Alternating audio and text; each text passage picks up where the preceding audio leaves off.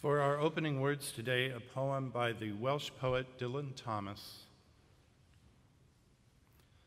I could never have dreamt that there were such goings on in the world between the covers of books, such sandstorms and ice blasts of words, such staggering peace, such enormous laughter, such and so many blinding bright lights splashing all over the pages in a million bits and pieces, all of which were words, words, words and each of which were alive forever in its own delight and glory and oddity and light.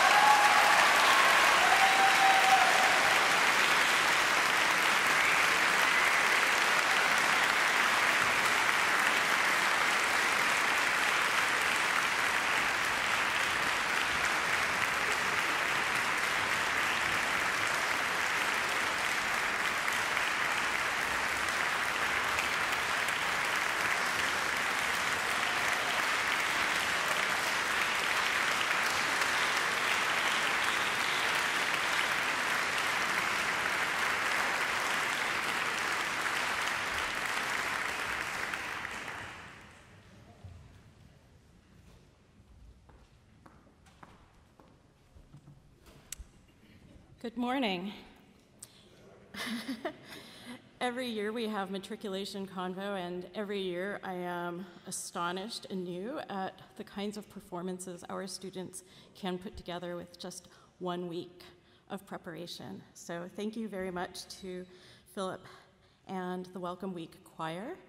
Um, my name is Monica Rico. I'm a member of the faculty here at Lawrence, and as the chair of the Convocation Committee for 2016 2017, it's my pleasure to uh, announce, give you a sneak preview of the upcoming convocations for the year. Our next convocation will gather on November 1st, and we will be hearing from Pulitzer Prize winning poet Natasha Trethewey. Then, in January, we will be um, celebrating the work of um, our own Professor Janet Anthony, um, a, mel- a member of the conservatory faculty, and one of our two winners of the Faculty Convocation Award. In February, we will hear from journalist, um, writer on psychology, the arts, gay and lesbian rights, Andrew Solomon.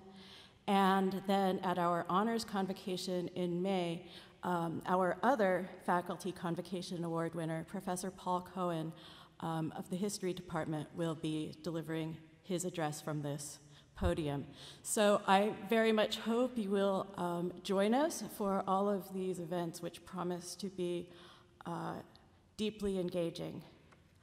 Uh, my next responsibility is to um, announce our next speaker, um, who really needs no introduction, and so I'm not going to introduce him, I'm just going to announce him.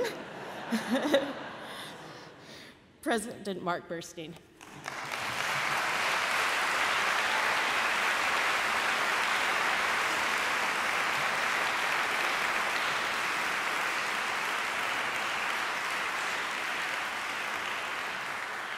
Well, I, am very thankful to Monica because I, I, hate long introductions, so I deeply appreciate uh, that introduction. Uh, I also want to thank Catherine Handford for providing an organ prelude that sets the stage for this and every convocation. Also, uh, echoing Monica, uh, thank you to Philip Swan, uh, Stephen Sieck, and the members of the freshman class for beginning our year with such beauty. I look forward to many future performances. And uh, thank you, Howard Niblock, uh, for your thoughtful selection of today's opening and closing words. I also want to thank Tim Spurgeon and the Convocation and Commencement Committee of last year for assembling a provocative and engaging series for this academic year. As you heard from Monica, we'll hear from some really, really interesting folks this year. I hope you will join me in attending all convocations. I look forward to seeing the committee's selection for future convocations under the leadership of Monica Rico. Welcome to the academic year. I want to specifically welcome the freshman class, our transfer and Waseda students, the eight new tenure line faculty, their spouses and partners, and the many other new faculty and staff who join us this fall. I know you will extend a warm welcome to all new members of our community as you welcomed me close to four years ago. I also want to take a moment to acknowledge the passing of Patrick Boylan Fitzgerald, the Edward F. Mielke Professor of Ethics in Medicine, Science, and Society, and Associate Professor of Philosophy. Patrick will be greatly missed. His teaching and writing has influenced many of us, including me. Events of the past year have made me keenly aware of how important our work is here on this campus and on campuses across the country. Conflict around human difference and the degradation of essential communities abound at home and throughout the world. The events of the past few months have reinforced my sense of this painful trend. We and our leaders seem to lack the skills we need to stem this tide. Establishing consensus and response, even to basic threats like the impact of the Zika virus, seem beyond our collective capability. Education, like Lawrence offers, can provide the skills to help resolve these conflicts and solve these problems. But I wonder, will continuing to perfect the education we offer be enough to move us forward, or do we need to also rethink the nature of our community and interactions within it? National and world events, even events in Appleton and on other college campuses, have focused my attention, and probably yours as well, on what is basic to our common enterprise. Can we nurture a campus environment that embraces learning and enables us to grow as human beings? Can we enhance our curriculum to address the challenges that face society? Can we find ways to better connect the education we provide to the opportunities available to our graduates and the life challenges they will face? Can we more deeply learn from the diversity on our campuses? What makes this set of enduring questions even harder to answer is the societal trend to become more inflexible in its approach, less willing to rely on those knowledgeable for solutions, and less interested in listening to build consensus. Can we here at Lawrence together work against the social tendencies that have led to this crisis in our communities today. Many scholars and teachers offer advice that reinforces impulses within our learning community. In preparation for this talk, I decided to look for sources I rarely consult to open my thoughts to different perspectives. I have been especially grateful for insights offered by religious leaders regarding cooperation and learning. For example, when asked about how to move toward a culture of cooperation, the future Pope Francis answered Such a culture has at its foundation the idea that the other person has much to give, that I have to be open to that person and listen without judgment, without thinking that because his ideas are different from mine, he can't offer me anything. That is not so. Everyone has something to offer, and everyone can receive something. Prejudging someone is like putting up a wall, which then prevents us from coming together. This idea to find value in views that are different from our own is I believe, one of the core tenets of a liberal arts education. In Appleton this last year, this value was not always embraced. But if learning is a process of transformational change, it starts with new ideas, and that requires listening to what others say and think. This theme of listening to a wide range of voices and ideas is echoed in many traditions, including my own.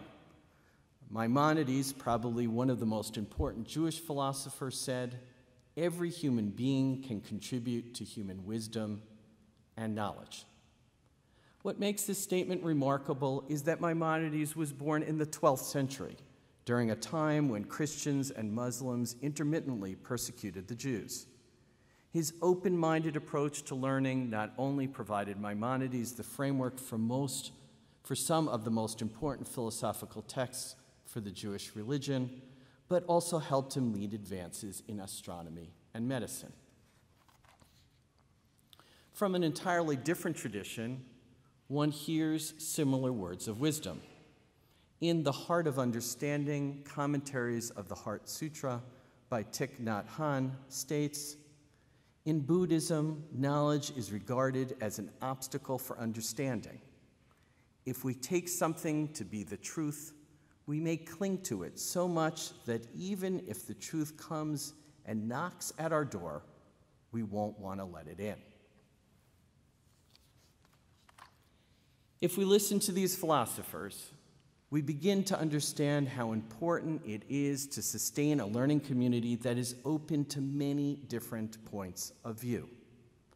But this would require us to look for the positive in each contribution, rather than reverting to social media or other forums to criticize every expression of views that differ from our own. And it would also increase the need to teach and practice the ability to let understanding grow, even if it doesn't conform to what we have always believed. These are not simple challenges.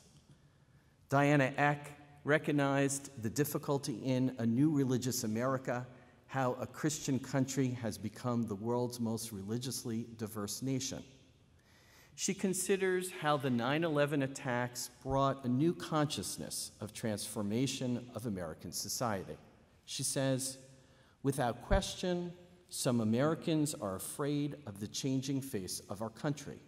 After all, the first response to difference is often suspicion and fear. This sense of unease with change and difference was addressed earlier by John Dewey, one of the foremost philosophers on education of the last century. Dewey believed that the antecedent condition for learning is to be uncertain, unsettled, disturbed. We have learned that this state seems difficult to sustain when the social environment also feels unsafe. But these voices lead us to wonder whether we might create a sense of communal safety even as we foster an environment that may feel disturbing and unsettling? Do we really need to reject everything new and unfamiliar when challenged with fear and uncertainty? President Obama spoke to this problem in his commencement speech at Howard University last spring. Thinking about the way change happens in the world, he said, Don't try to shut folks out no matter how much you might disagree with them. There's been a trend around the country of trying to get colleges to disinvite speakers with, different, with a different point of view or disrupt a politician's rally. Don't do that, no matter how ridiculous or offensive you may find the things that come out of their mouths. That doesn't mean you shouldn't challenge them. Have the confidence to challenge them, the confidence in the rightness of your position. But listen, engage. If the other side has a point, learn from them. Essayists have published hundreds of recent articles on the state of learning at colleges and the impulse to create more inclusive campus communities. These, these writers chronicle student protest, administrative and faculty response, debates about names and the power they have to create equitable learning environments, and efforts to redefine intellectual freedom within this new context. Interest in these issues is so widespread, one wonders whether American society is using the college campus as a microcosm in which to search for solutions to the challenges that face us today. One such article, The Big Uneasy What's Roiling the Liberal Arts Campus by Nathan Heller for The New Yorker, examined the current campus experience primarily through the lens of events at Oberlin, but also with a nod toward Yale, Claremont McKenna, Ithaca, and Harvard. Heller's description of events on those campuses remind me of the pain we all felt and the conflict we have had with each other here over the past year together.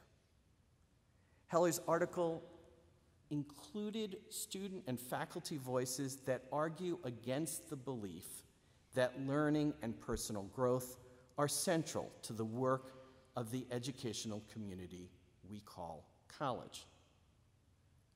It seems some of us no longer share the central mission of college of changing lives, but expect college to be a four year holding tank where students, faculty, and staff can act out their identities in opposition to each other. Have we, as liberal arts communities, lost our central commitment to learning, growth, and human development? I was heartened to read in the Lawrentian's Welcome Week edition that many columnists still believe that changing lives is at the core of a college education. They speak about the importance of personal growth and change. They give us hope that we, as a community, will take the path of openness, cooperation, readiness to listen, and to change. Listening last spring to our visiting Scarff professor George Rupp's lecture on campus, I wondered whether recommitment to the goals of learning, intellectual openness, growth, and human development might be only part of the task that faces us at Lawrence and colleges across the country as we prepare our students to be global citizens in this difficult world. When I attended the lecture, I was not entirely open to new understanding, as the Buddhist teachings suggest. I joined this session to fulfill my role as host, hoping to spend more time with my longtime colleagues, George and his wife, Nancy. But what I heard was a deep and sophisticated critique of Western individualism, which Rupp believes is preventing the United States and other Western countries from providing leadership to find solutions to global problems.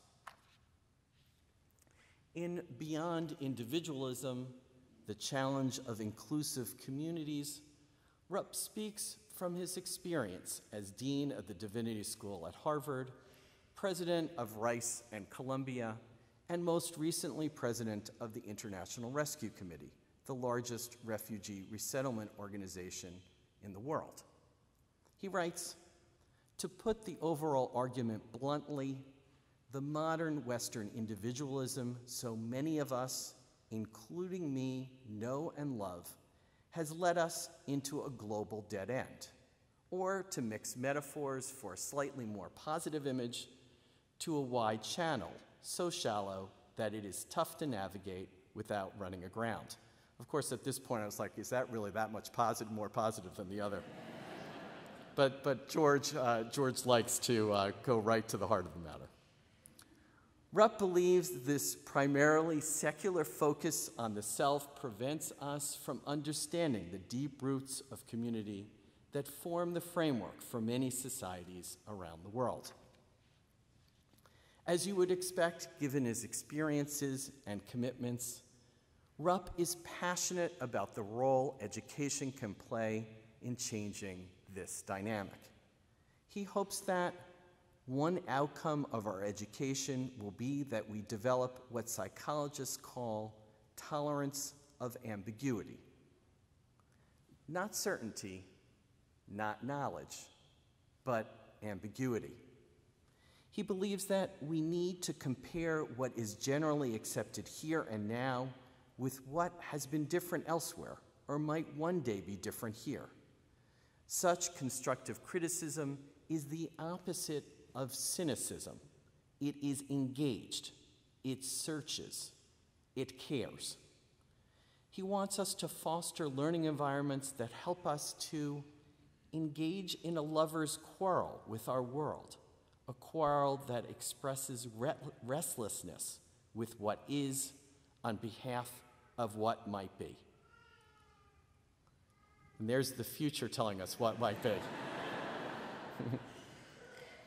Can we sustain this lover's quarrel and also provide a welcoming and supportive community for all of our members?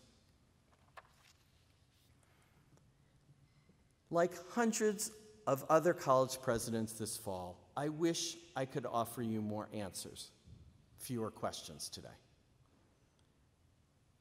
But I believe we are in the heart of an important process that requires all of us to move forward.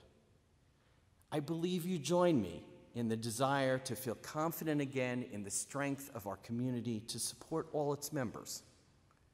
I believe we all desire to strengthen the rigorous and challenging education that is the hallmark of the Lawrence experience. We need to trust that we are together in this process. I know we have what it takes to recreate our learning community to meet our aspirations. This challenge need not weaken us. Rather, we are strengthened by the sh- shared search for new and better answers. Finally, I thought back to my own liberal arts education and the impact it has had on my life and choices I have made. As a history major at Vassar, I was required to take at least one class beyond the staple of European and American history offerings. My first foray in this direction, which at best I came to ambivalently, was a course on modern African history. As we at Lawrence would hope, the course turned into one of the most important of my undergraduate career. Through this survey course, I fell in love with the nation building period, especially with Leopold Senghor and Julius Nyerere, the first leaders of Senegal and Tanzania. Senghor's combination of literary and political mind and Nyerere's steadfast vision for his nation and people inspired hope and awe in me. In his 1971 commencement address at University of Vermont upon receiving an honorary degree, Senghor spoke movingly of the promise of America. You have all the necessary ingredients. It is you who can give it a truly universal dimension.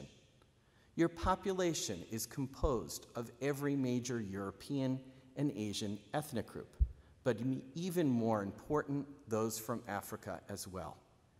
Thus, it is the Americans, more particularly the United States, which already anticipates the world of the 21st century and holds in its strong but faltering hands not only its own destiny, but the destiny of the entire world. Senghor's life in two worlds, African nation building and French culture, led him to an understanding of the promise we still need to realize. If we teach and learn anything together, it is the power of overcoming doubt and uncertainty. This skill is essential at a time when much is unclear about the future. We need to have confidence that considering a wide range of ideas, of debate, and change will make us stronger. I hope this vision can guide our work this year. I am honored and glad to join you in continuing an endeavor to reach Senghor's lofty goal for us and to sustain this learning community we call Lawrence. I look forward to seeing how we together engage this year with the challenge he described. Thank you.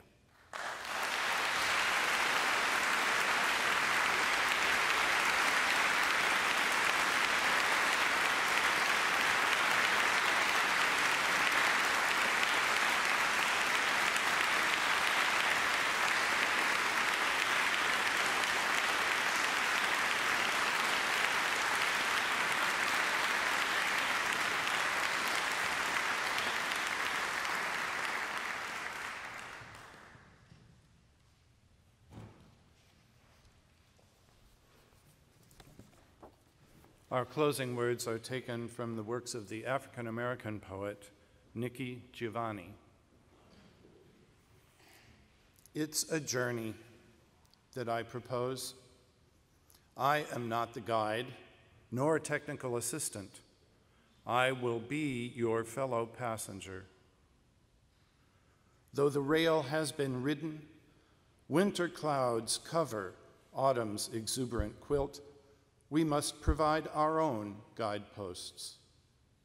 I have heard from previous travelers the road washes out sometimes, and passengers are compelled to continue groping or turn back. I am not afraid.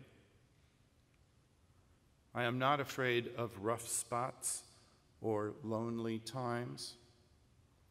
I don't fear the success of this endeavor. I am Ra in a space not to be discovered, but invented. I promise you nothing. I accept your promise of the same. We are simply riding a wave that may carry or crash. It's a journey, and I want to go.